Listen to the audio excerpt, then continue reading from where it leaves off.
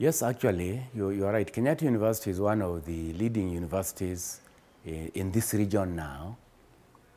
Uh, although it is about 22 years old, since 1985, it's more than actually. Uh, it was established in 1985 by a charter as the second university in this country.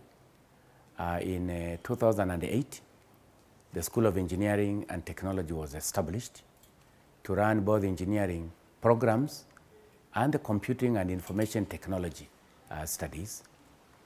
And um, within the university has 17 schools and several directorates and uh, a few campuses both in this country, in other cities, and uh, a few offshore in other countries.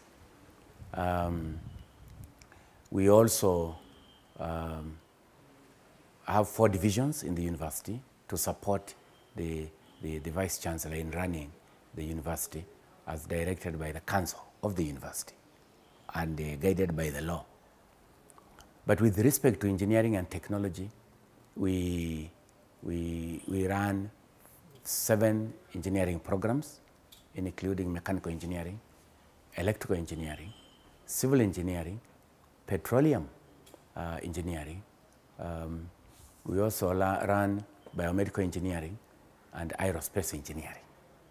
And uh, in terms of IT, we run computer science program uh, and uh, information technology program. And also we have an energy technology uh, program at both undergraduate and postgraduate levels. And IT, we are also having the same. For engineering programs, we are now developing reputable uh, postgraduate programs. We collaborate with several other universities globally. Uh, we collaborate with the University of Pisa in Italy, who support us in biomedical engineering, and other universities in the US and the UK um, and uh, Africa. Um, we are, in terms of engineering, we are members of the Africa Engineering Deans Council, and the Global Engineering Deans Council, where you are uh, other African and global engineering deans are members. Uh, one of the core areas of, uh, in terms of information technology is to take the lead role and collaborate with other universities in terms of uh, ensuring cloud computing and the IT infrastructure uh, to support our research areas. Yes and hosting this Sci-GaIA program is one of the um, milestones towards this direction. And we thank the organizers and the funder, who is the EU, for identifying Kenyatta University to collaborate with us.